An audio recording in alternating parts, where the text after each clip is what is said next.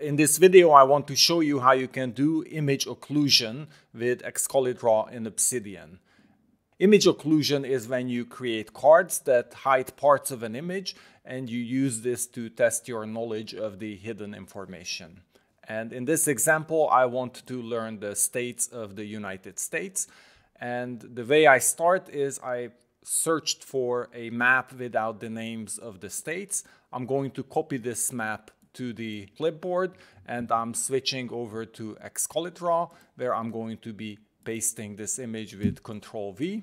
And so I have the map of the United States here. I'm going to enlarge this just simply that uh, the font sizes work better. So I'm, I'm just making this slightly larger.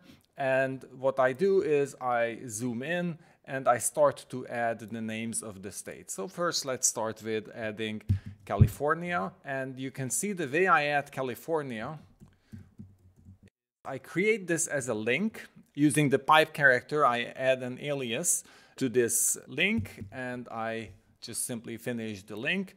And with this, I have my California link here. I'm going to create, uh, let's say just one more. I'm going to create Nevada. And again, I'm just going to use the pipe character, hit space, and then close the link. And I have Nevada here. And now if I zoom out, uh, you can imagine I do this for all the states.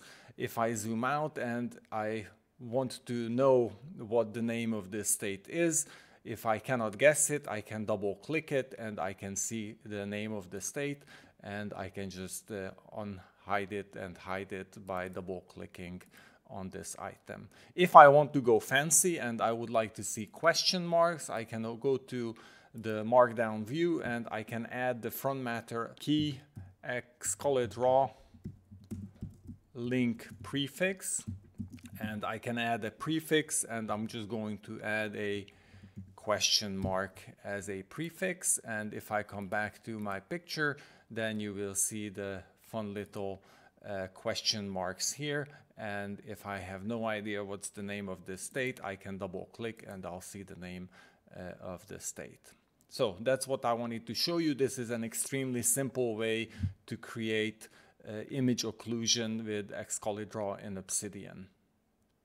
Thank you.